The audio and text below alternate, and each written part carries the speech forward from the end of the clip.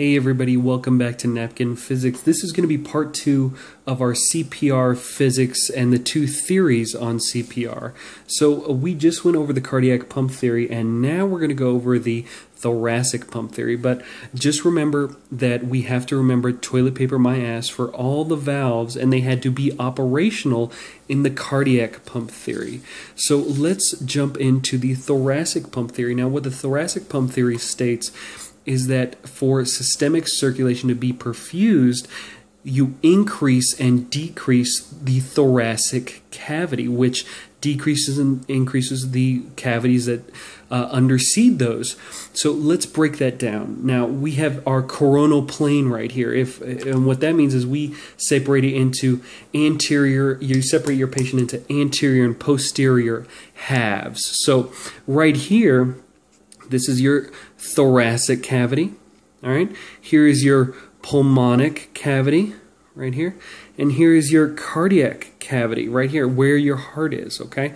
And this is going to be, represent our systemic circulation. So what they're stating is that when we increase pressure during CPR, cardiopulmonary resuscitation, when we press on the chest, we are going to increase pressure in our thoracic cavity, in our pulmonic cavity, in our cardiac cavity, and that pressure is going to eject blood the, a lot like the same way the cardiac pump would into our systemic circulation, and that's going to uh, increase it out here, and that's how we perfuse our uh, our periphery. But there's something to be held and of importance, and it really comes into the recoil of this.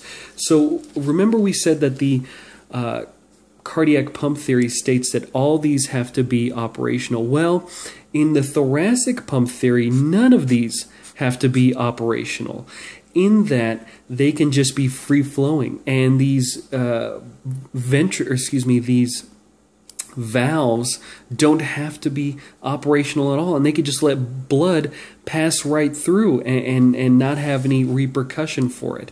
Now, what does that state for us? That means when we have that recoil, what's going to happen is that we're going to decrease pressure in our cardiac cavity, right, right over our mediastinal cavity, and we're going to decrease pressure in our uh, pulmonary cavity, and then we're going to decrease pressure in our thoracic cavity. And what is that going to do? Well, that's going to create a negative pressure within inside our thorax, and that's going to push blood into our cardiac circulation. It's gonna it's gonna uh, sort of pull it in to the right atrium, right ventricle.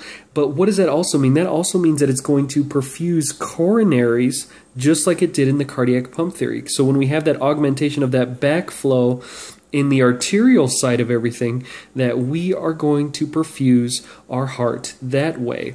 Now, this theory might be a little hard to wrap your head around, and the first time I heard it, it seemed a little crazy to me that both of these theories play off of the operational use of the tricuspid, pulmonic, mitral, and aortic valves. But that's what these theories really rely on. And there are amazing articles out there that go really into depth on how they tested to find both of these theories out.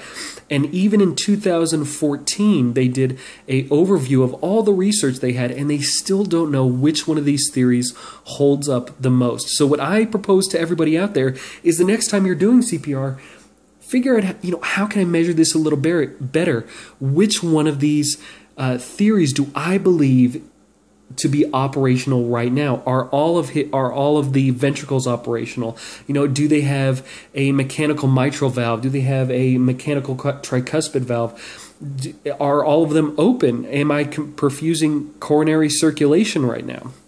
So there are amazing literature out there on there. This is a quick overview of the, both of the theories, thoracic pump theory and the cardiac pump theory. And like we did last time, if you guys want, take a quick snapshot of this. This say you get a hold of me and uh, you know have any questions, requests, or etc. Just get a hold of me any any way you can.